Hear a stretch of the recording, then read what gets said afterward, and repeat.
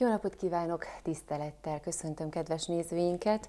A mai műsorban a Semmelweis című film erdélyi díszbemutatójáról fogunk beszélgetni, ugyanis Marosvásárhelyen tripla vetítést tartottak a Semmelweis című magyar gyártású filmmel, mindezt premier előtt és közönség találkozóval kiegészítve. A Semmelweis című életrajzi film az Oscar díjra jelölt legendás rendező-operatőr Koltai Lajos kézjegyét viseli, aki ezúttal is a magyar színészek legjobbjaival alkotott. Közülük köszöntöm most vendégeimet is, nagy Katicát és Kovács Tamás színművészeket Isten hozott Marosvásárhelyre, és Isten hozott a stúdióba. Köszönjük, szia! Hatalmas érdeklődés mellett mutatták be Marosvásárhelyen, mint erdélyi helyszín, díszbemutatóval, ahogy az előbb is említettem, a Semmelweis című filmet, és közönség találkozóval, ahol a főszereplők közül ugye eljöttek, eljöttetek ketten is, hogy népszerűsítsétek a filmet, és hogy egy kicsit a kulisszák mögé is betekintést engedjetek az érdeklődőknek. Ugye a tervezett két vetítési alkalom mellé egy harmadik időpontot is be kellett iktatni, olyan nagy volt az érdeklődés. Milyen élményekkel zárult számotokra ez az erdélyi díszbemutató és a közönség találkozó?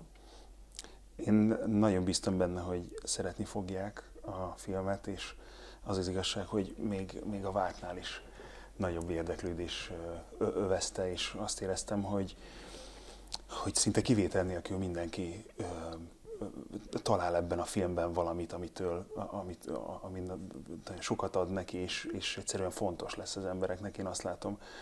Úgyhogy én azt gondolom, hogy nagyon nagy sikernek örvend a film Magyarországon is, és úgy tűnik, hogy itt is. És nagyon örülök annak. Hát például, ahogy mondtad is, hogy egy külön vetítést még be kellett tenni a kettő mellé én nagyon örülök, hogy itt lehetek, és szerintem, szerintem nagyon jól fogadta a közönség. Én nagyon szép volt egyébként a tegnap este, tehát gyönyörű a, a kultúrpalota, meg, meg eszméletlen volt, hogy ilyen, ilyen szép helyen, ilyen keretek között, szóval ez nagyon megtisztelő volt. És, és az is, hogy ennyien eljöttek, és hogy, hogy tényleg ilyen nagyon nagy az érdeklődés, és az embereknek én is éreztem, hogy adott valamit ez a dolog sokan jöttek oda, meg, megjelezték ezt a dolgot, úgyhogy nagyon megható volt számomra. És ö, otthon is csupa jót kapunk a, a filmmel kapcsolatban, és, és jó volt, hogy ezt, ezt itt is meg tudtuk élni. Tehát ez egy ilyen különleges élmény itt lenni. A szerep maga milyen élmény volt számotokra? Kezdjük talán azzal, hogy hogyan zajlott erre a felkészülés, illetve lépjünk még egyet vissza. Tegnap a közönség találkozón is elhangzott, hogy egy nagyon különleges válogatón mentetek át, ugye casting ként ismerik ezt a folyamatot az emberek, hogy ez nem volt egy szokványos színész válogatás. Kicsit akkor mondjuk el a nézőknek is, hogy ez milyen volt Koltai Lajossal.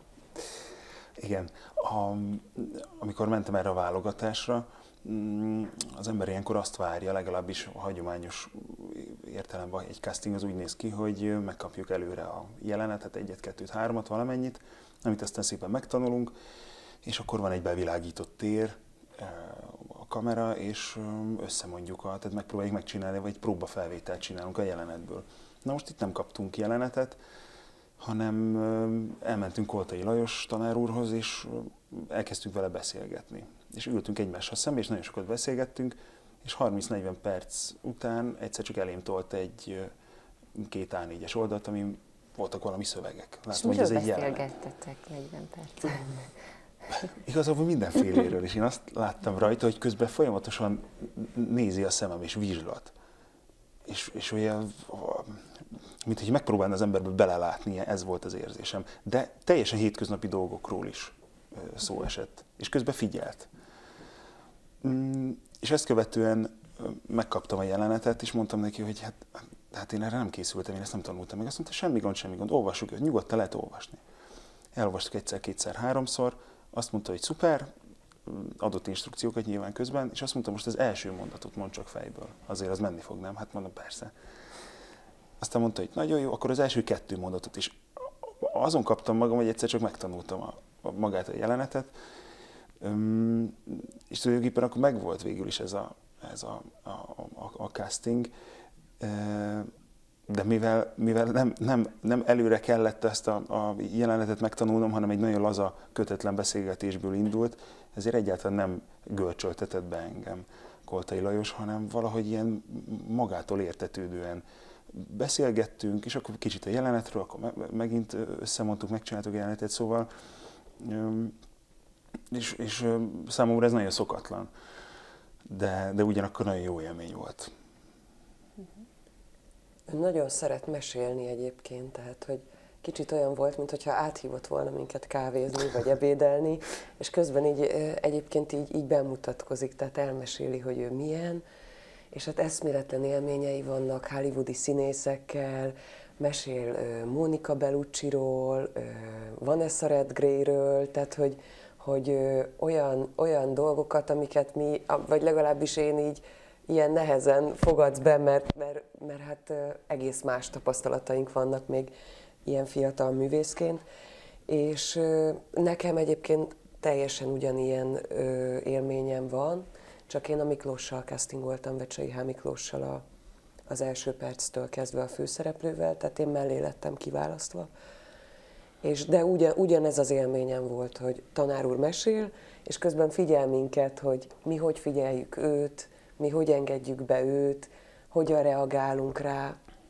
De engem nagyon meg tudott nyugtatni az első perctől kezdve. Tehát nekem könnyű volt vele valahogy, szóval, hogy, hogy kialakult egy ilyen nagyon baráti, nagyon emberi nexus az első perctől kezdve. Igen, az egész forgatást valamilyen könnyedség ö, járta át. És valószínűleg ez a rendezőnek a, a, a milyenség, ez azért nagyon meghatározzám egy forgatásnak a, a a hangulatát, és arra emlékszem, úgy emlékszem vissza erre a munkára, hogy nagyon laza volt a hangulat, nagyon jó kedvben telt, és szerintem ez elengedhetetlen ahhoz, hogy, hogy egy ilyen film szülessen.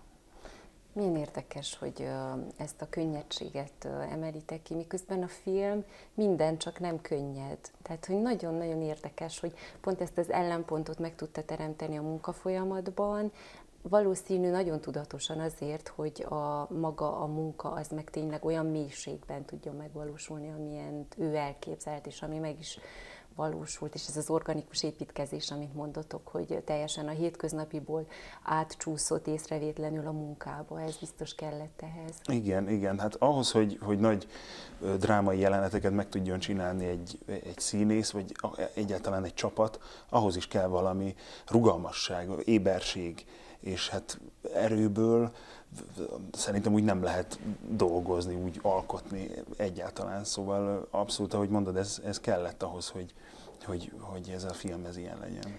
Viszont a dolog mélységei felé pedig nagyon intenzíven lettünk vezetve, tehát a tanár úr mindig elmondta, hogy ez egy halálgyár, itt rengetegen halnak meg, és valahogy, valahogy át tudta adni ennek az egész dolognak a szagát, az ízét, a, a nehézségeit, a mélységeit, de erre folyamatosan koncentrált, hogy ezt, ezt így belénk plántálja, úgymond, emellett a könnyedség mellett. Uh-huh. Um, mondjuk el ugye, hogy a Katica, a címszereplő Semmelweis jobb kezét alakítja, alakítód, egy szülésznőt, igen. Tamás pedig a riválisát, Kollár főorvosurat, egy elég komplex, nyilván mindkét karakter nagyon összetett. Milyen érzés volt negatív főhőst alakítani? Nagyon örültem neki, hogy kaptam egy ilyen szerepet, mert alapvetően az alkatomból kifolyólag mindig a hősöket osztották rám, és ez az első, hogy egy ilyen intrikus figurát eljátszhatok, és ez, ez nagyon élveztem, az az igazság. Valahogy ilyenkor az ember a benne lévő gonoszságokat ki tudja élni. Szóval nagyon izgalmas, izgalmas feladat volt, arról nem is beszélve, hogy Gáfi László játszotta a Klein professzort, akivel nekem nagyon sok közös jelenetem van, ketten áskálódunk, és az ő jelenléte, a, a, az ő profizmusa az egyszerűen lenyűgöző. És annyit kap tőle az ember a, a kamera előtt, hogyha belenéz Gálfi László szemébe, hogy ott már nem is kell az embernek játszani, mert annyira megteremtődik valami. Továbbá azt is ki kell emelnem, hogy, hogy a, a forgatási szünetekben a Gálfi László olyan volt velünk, tehát hogy játszó pajtásként tekintett ránk. Nem, nem az volt, hogy ő az idős, komoly színész, aki most itt a pálya kezdőnek megmondja, hogy mit, hogyan, merre, hanem egyenrangú felek voltunk. És ugyanúgy ugrattuk egymást, viccelődtünk, szóval ez, ez, ez külön jó élmény volt. Mondjuk el azt is, hogy ugye a Semmelweis Ignác életét bemutató film azt az időszakot mutatja be, amikor 28 évesen egy bécsi klinikán rájön arra, hogy talán lehet egy törvényszerűség abban, hogy miért épp azon a klinikán ugrik meg ilyen nagyon az elhalálozási arány, és megszállott módon elkezdi kutatni ennek az okát, és, és végül aztán ugye meg is találja az okot és a, a megoldást is.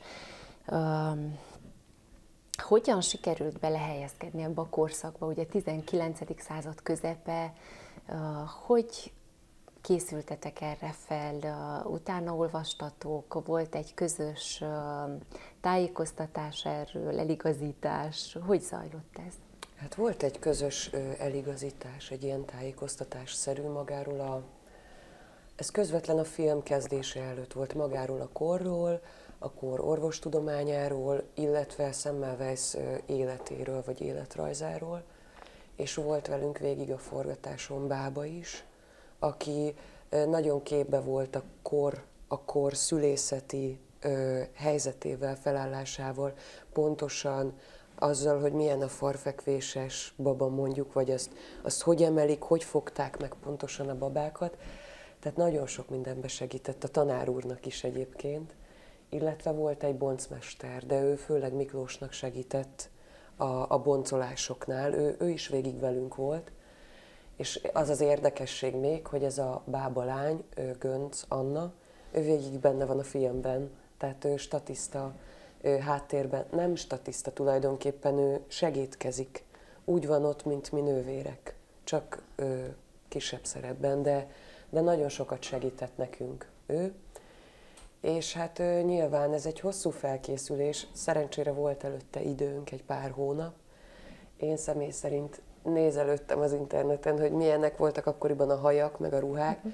Nekem egy picit új volt, mert én nem néztem sok kosztümös filmet előtte, de magák, maguk a jelmezek megteremtik azt az érzést, vagy úgymond visszaröppítenek abba a korba, hogy ö, amit beszéltünk is Tomival tegnap, hogy, hogy adnak egy tartást, tényleg adnak egy tartást, nem könnyű ezeket viselni, ezeket a ruhákat, meg, meg ezeket a hajakat se egyébként, mert, mert bonyolultan van, bármilyen egyszerűnek tűnik, bonyolultan van odarakva, de abszolút megadja azt az érzést, hogy, hogy ott vagy, és másképp kell egy picit viselkedni. Az is, hogy zártabb minden ruha. Nőként szinte semmi nem látszik belőled, az is nagyon érdekes, hogy, hogy az is ad egy, egy befelé létezést valahogy. Igen, alapvetően, hogyha ennyire karakteresek a jelmezek, azok általában segítik a színésznek a munkáját. Hát a nőknek főleg ezek a nagy hajak, ruhák, ezeket valóban láttam is, meg mondták is, hogy mennyire nehéz viselni a báljelenetnél, a lányok nem tudtak leülni, hanem végig 12-3 órát álltak, mert hogyha leültek, akkor nem, nem, nem tudtak leülni, mondjuk én le tudtam ülni. Fűzőkbe. Igen. igen, igen. Igen, de hogy a, a férfiaknak is az akójuk, ugye szűkebb, szűkebbre szabták magas gallér, és az is már önmagában ad egy tartást. Tehát ugye másképp létezik az ember egy ilyen ruhában.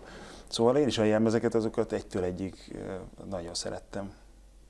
És szerintem nagyon látványos és nagyon sokat hozzáad ehhez a, a filmhez. Gyönyörű jelmezek, én is imádom egyébként. Nagyon érdekes volt a kornak ez az orvosi köpenye, ami szintén teljesen más, mint a, a mostani. Az is egy olyan volt, mint egy ilyen, hát látszik a filmben, mint egy ilyen csuha tulajdonképpen, tehát hogy teljesen eltakart mindent, mint egy ilyen zsákok olyanok voltunk gyakorlatilag.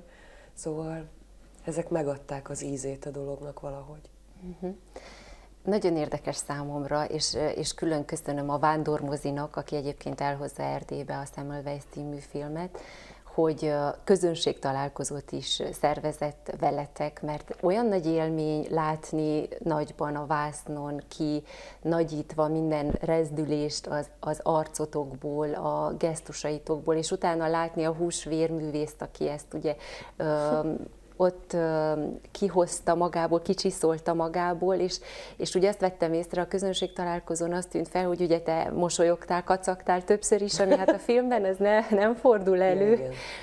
És ugye nálad meg ez a nagyon nagy ellentét, hogy az intrikus figura, és aztán meg a, a valódi, teljesen közvetlen és megnyerő szimpatikus lét, ez, ez, ez megint egy nagy kontraszt volt, és ez tényleg nagyon sokat hozzá tud adni magához az élményhez, úgyhogy ezt külön köszönöm nektek.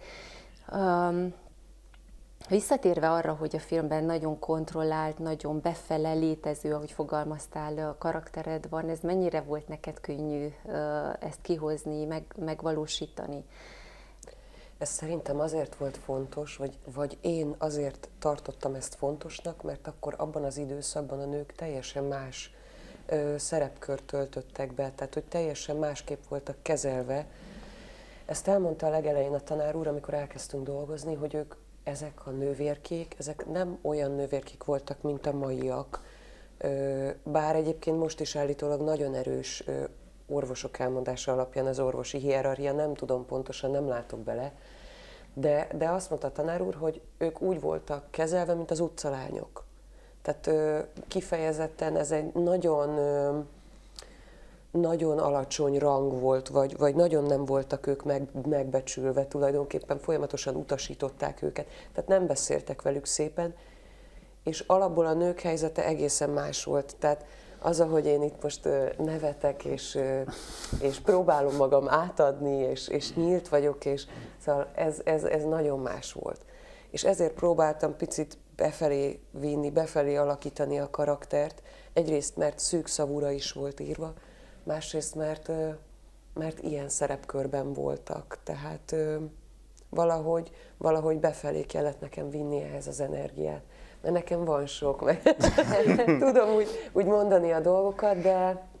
Igen, csak gondolom ez nehéz. Tehát, hogy amikor Aha. eszköztelenül kell nagyon erős hatást kiváltani, és csak a szememmel, csak a, a nagyon halvány mosolyjal, nagyon ritkán, a tartás az megint nagyon érdekes, tehát szinte ilyen, ilyen nagyon sokszor ilyen meghajló, hajlott hátú, igen, igen, igen, tehát igen. hogy nagyon, nagyon érdekes karakter. Én úgy értelmeztem őt, Emmát, amikor elolvastam papíron, hogy ő egy merevebb karakter, mint én, finomabb rezgésű, de, de nagyon érdekes, amit mondasz, hogy ezek a közelik teljesen átadják az arcot, amit a tanár úr gyönyörűen kezel és gyönyörűen csinál. Tehát lenyűgöző számomra ez a sok arcközeli, és ott én megpróbáltam ezt az érzékenységét neki átadni, mint a saját eszenciáját ennek a karakternek. Remélem sikerült. Igen, valamit kiegészíteni való? Vagy te hogy, te hogy építetted fel a karaktert? Nem is tudom. A, az, az igazság, hogy szerintem nagyon, amikor elolvastam legelőször a forgatókönyvet, azt éreztem, hogy tehát nem volt bennem hiányérzet. És valahogy éreztem, hogy ez, ez így jó. És pontosak a jelenetek, szikárak, nincsenek túlbeszélve, jók a dialógusok. És a, tehát az én jeleneteimet, ezeket különösen szerettem, szinte az összeset, tényleg pontosan voltak megírva, és az egy jó alapanyag, abban nagyon jó ki lehet indulni, aztán, hogyha az embernek volt javaslata, akkor azt, tehát, hogy ott lehetett valamelyest alakítani rajta, vagy hogyha úgy éreztem, hogy valami jobb eszembe jut, akkor ezt meg lehetett vitatni. Mm, és, és nem tehát próbáltam mindig a, mindig a helyzetet ö, játszani. Aztán én is remélem, hogy sikerült. De, de hogy a, a, forgatókönyvből nagyon jó ki lehet indulni. Aztán nyilván ö, ott a forgatási helyszínen eldől, hogy, hogy, hogy sikerült, nem, vagy mit változtassunk, vagy hogyan kellene aztán felépíteni. Mm, meg, meg hát a vágóasztalon aztán, mert az van, hogy a forgatókönyvet onnantól kezdve elteszik, mert az van, amit felvettünk, és abból kell kihozni a, a legjobbat. És akkor be is vezetted a következő kérdésem. Milyen élmény volt megnézni a filmet? Tehát ti belülről ezt, belülről átéltétek, ki csiszoltátok, csiholtátok magatokból, és aztán milyen volt látni ott nagyban? Tehát, hogy az volt, ami, amit ti belülről éreztetek, vagy teljesen más, vagy nagyon hasonló, de több, vagy... Tehát, hogy mi, mi adódott hozzá a vágóasztalon? Um, augusztus, vagy valamikor nyáron, nyár vége felé volt egy stábvetítés. Én akkor láttam először a filmet találkoztam Katicával, mellette ültem. És mondtam neki, hogy na, hát, na nézzük, hú, hát hogy nagyon izgulok, ezt én már láttam. Mondom, tényleg, de jó. Hát mondom, akkor téged már nem fog érni meglepetés. Ülök, nézem, és azt látom, hogy Katica, nem is hallottam, hogy sóhajtozik, sóhajtozik, lesüti a szemét, tör, a homlokát tördeli az ujjait. Mondom, mi van? és mondta, hogy és ott, ott emlékszem erre, hogy de, de is sóhajtoztál. Mindezt csak azért mondom, mert mindig ezt majd elmondtad te, de tehát, hogy volt a kérdés, hogy, hogy, hogy milyen érzés milyen volt. Milyen érzés volt látni aztán a filmet? Hát alapvetően a színész nem nagyon szereti visszanézni magát, legalábbis én, bár nagyon-nagyon sokat lehet belőle tanulni. Ugyanis forgatás közben az ember érez valamit, hogy, hogy a, belül azt gondolja, azt érzi, hogy na most, na most ez megvan, ez sikerült, aztán lehet, hogy egyáltalán nem az látszik vagy, vagy más látszik, vagy nem olyan erőteljesen. Például én nekem is sokszor érzem azt, hogy na ez itt most jó, vagy, vagy közelít ahhoz, amit szeretnénk, és azt láttam, hogy, hogy nem annyira intenzív, mint ahogy én ezt belül megélem. De hát is azért elég kritikus vagyok magammal szemben. Van most is egy-két olyan jelenet, amit, ahol azt érzem, hogy hadarok, hogy jobb lehetett volna, hogy így most másképpen csinálnám. De van olyan is, ahol azt érzem, hogy ezt most se tudnám jobban. Összességében jó élmény volt akkor végignézni a filmet. Jó élmény. Nézőként. A, a, a, film, nagy, abszolút, a filmet abszolút, de hogyne, hogyne, hogyne. Hogyne. A, teljesen. Igen. Az én evolúcióm az onnantól kezdve, hogy a Tomi mellett ültem, és én is emlékszem egyébként, hogy mondtam neki, hogy hát, hogy láttam a filmet, és kérdezte, hogy milyen volt, és mondtam, hogy semmit nem fogtam föl belőle, annyira izgultam. De aztán szépen lassan így, mert én kilencszer láttam ezt a filmet egyébként, tehát különböző vetítéseken mindig-mindig megnéztem, és szépen lassan az ember így felfogja csak, csak az első, az az izgalom, hogy a nézők, a, a kezdeti fázisban nagyon erős volt az izgalom, hogy a nézőket kielégíteni, és hogy a nézők hogy fognak rá reagálni, és nyilván az ember kritikusabb magával, de összességében most így ennyi megnézés után én szeretem ezt a filmet, és nagyon, nagyon jó élmény megnézni. Nem mondom, hogy így 11 ére, 11 de persze megnézném szívesen még, csak szóval összességében jó, jó nézni ezt, és jó azt látni, hogy a nézők nagyon szeretik, és én nagyon megnyugodtam például a torontói vetítés után. Mert, mert azt éreztem, hogy a világ különböző pontján is be tudják fogadni ezt a, ezeket az érzelmeket, ezeket a, ennek a filmnek a lassúságát, a romantikusságát, hogy az emberi lélek ezt mindenhol ö, tudja értelmezni. Tehát, hogy egy univerzális nyelven szólal meg valahogy szerintem. És azt éreztem, hogy beránt első másodpercétől, ugye a legelső jelenettel, most nem lövünk le semmilyen poént, vagy nem szeretnénk, de hogy, hogy tényleg a, a saját a nyelvezetébe rögtön beránt a film. Ez, ez, ezt, ezt éreztem, hogy megszűnik a külvilág az első másodperctől. Um, érintetted már, Tamás, azt, hogy uh, ugye ez egy lezárt dolog. A film az, uh, az ugye, mikor, mikor a vágóasztalon azt mondják, hogy itt a rap, vagy a forgatáson már azt mondják, hogy ez a folyamat lezárult, akkor azon már ugye nem lehet változtatni. Nyilván ennek feltételezem van előnye is, hátránya is, tehát ugye egy színházi folyamatban van idő megérlelni egy figurát, sokszor, akár több évadon keresztül is repertoáron tart egy színház egy előadást, az idő alatt még változik, alakul, gazdagodik egy-egy karakter. A filmen teljesen más. Ott ugye ha jól emlékszem, három hónap volt mindössze a forgatási periódus, az úgy érezném én, hogy nagyon rövid idő ahhoz, hogy, hogy ilyen összetett karaktereket az ember megérleljen magában. Arról nem is beszélve, hogy amint a közönség találkozón is elmondtátok, nem időrendi sorrendben veszitek fel a jeleneteket. Igen. Tehát egy karakter ugye a film forgatókönyve szerint már átment nagyon sok kulcshelyzeten, olyan élethelyzeten, ami gyökeresen mondjuk átírta az az előtti um, helyzetet, um, és közben meg még, még nem írt oda a filmezési um, forgatókönyv, tehát a beosztás, a program, és hogy, hogy helyszínek szerint forgattok. Tehát, hogyha van egy előadóterem, ugye, ami sokszor a, az egyetemi előadó, ami megjelenik a a filmben, akkor elsőként az összes ott tervezett jelenetet leforgatjátok, és utána haladtok tovább a többire, és hogy ugye ez is egy, egy plusz kihívás számotokra. Erről egy picit beszélni. Ez abszolút pontosan így van, ahogy elmondtad. Helyszínenként van a forgatás, és hogyha egy helyszín megjelenik a filmnek az elején, a közepén és a végén, akkor ott azt felve, hogy csak a végén. És emlékszem, pont az előadó teremnél volt az, hogy a, a, a filmnek a végét vettük fel a, a forgatás legelején. És az az egyik legerősebb jelenet? Az az egyik legerősebb jelenet, de főleg, én azt gondolom, főleg a főszereplőknek kihívás ez, de alapvetően igen, tehát hogy kell, kell tudnia az embernek, a színésznek, hogy, hogy éppen hol jár, most akkor hol járunk a filmnek, melyik részét veszik most fel, uh-huh, tehát tudom, hogy körülbelül három ilyen vagyok, ergo már megtörtént velem ez, ez, ez és ez, és ez, azt egyszerűen hordoznod kell magadban, tudnod kell, hogy, hogy mik történtek már veled a, a filmben, hiszen majd a néző nézi, akkor, akkor ő, egy, ő viszont egy, egy linearitást lát.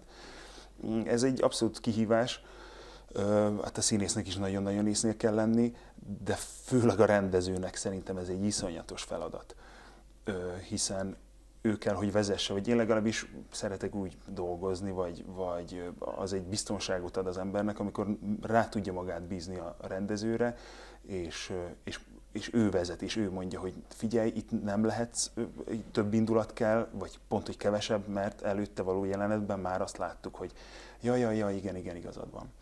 Tehát én például hajlamos vagyok arra szerintem, hogy, hogy inkább vagy hektikusabb, és akkor, de hogyha az ember rábízza magát a rendezőre, és hogyha van az embernek egy ilyen rendezője, akkor nem lehet nagy probléma, akkor hogy biztonságban érzi magát, és, de szerintem ezt csak így lehet csinálni.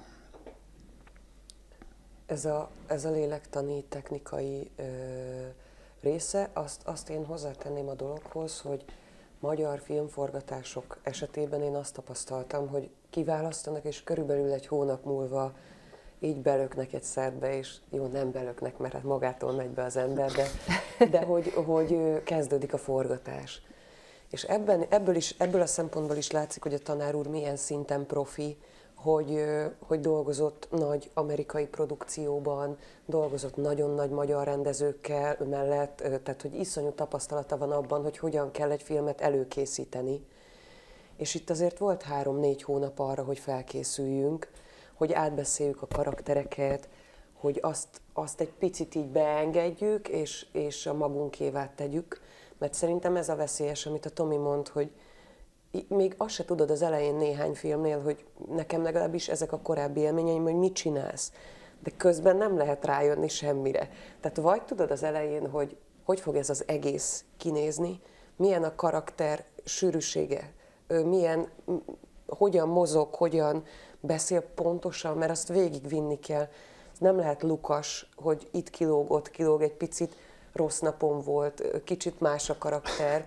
Mert én például egy tőlem nagyon eltérő karaktert alakítok, tehát azt végig tartani kellett. És ez nagyon jó volt, hogy erre volt három hónap, hogy mindig próbáltunk egy picit, mindig volt egy kis ruhateszt, vagy kamerateszt, ahol ezek szóba tudtak kerülni, és a tanár úr nyomta-nyomta, hogy milyenek a karakterek. És mikor odaértünk, én azt éreztem, hogy már tudjuk, ott van velünk a dolog. Nagyon kevés idő, két perc maradt a, a műsoridőből, de szeretném, hogyha elhangzana itt is az a, az a tényleg kulisszatitok, a közös jelenetetek, amit úgy fogalmaztál, hogy számodra az volt az egyik legnehezebb megvalósítani, ezt, hogyha el, elmondanád röviden. Igen, a, szerintem ez a, a figurának, a, az én karakteremnek a, a kulcs jelenete, amikor, de most elmondhatom, hogy mi történik abban a jelenetben? Nagyon, nagyon vázlatosan. Vázlatosan. Üm, igyekszem kígyó módon a, a, a nővért besugásra bírni, és ez a jelenet, ez meglehetősen hosszú, azt hiszem, nem is tudom, két-három perc talán, mm, és egy snitt az egész, tehát nincsen benne vágás. Ugyan volt arról szó, hogy meg különböző irányokba fölvesszük, vagy lehet, hogy föl is vettük, nem emlékszem már, de a tanár úr jelezte, hogy, hogy ha csak lehető, akkor ezt egybe tartaná. Na most technikailag is kihívás volt, amellett, hogy, hogy fontos volt, hogy hogyan épül fel az jelenet, hogy milyen a dinamikája, mm, hiszen egy kulcsjelenetről van szó.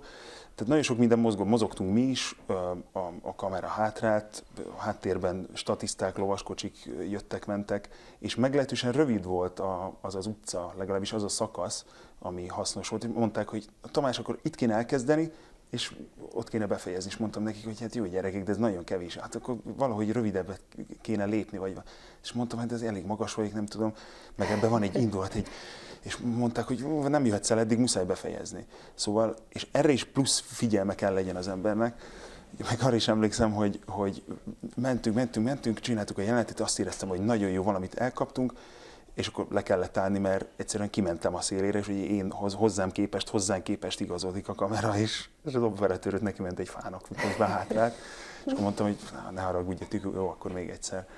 Szóval szerintem ez nagyon nehéz volt, arra úgy, arra tényleg azt éreztem, hogy most erre készülök, és minden energiámat és koncentrációmat arra nyomtam, hogy arra fordítottam, irányítottam, hogy az jó legyen. De hát ilyen partnerekkel, mint a Katica, ez végül is nem is volt annyira nehéz. És hát mi vagyunk a nyertesei, a nézők ennek a, ennek a jó munkának és a jó együttműködésnek. A Semmelweis című film tervezett erdélyi, illetve romániai mozi bemutatója február 9-e. A filmet a Vándormozi eljuttatja az ország olyan településeire is, ahol nincs villannyal működő mozgóképszínház. Az alkotást a Magyarországi mozi bemutatója óta eltelt két hónapban több mint negyed millió néző látta, úgyhogy ehhez hasonló érdeklődést kívánunk Erdélyben is a, a filmnek. Nagy Katica és Kovács Tamás színművészeknek köszönöm, hogy itt is beszélgethettünk a filmről. Köszönjük. Köszönjük a lehetőséget. Kedves nézőink, Önöknek köszönjük a figyelmet, jegyezzék meg tehát február 9-től az erdélyi mozikban, illetve hát kövessék a vándormozi bejelentett helyszíneit is. Itt most nálunk következik a híradó, ha tehetik, maradjanak műsoraink társaságában. Viszontlátásra!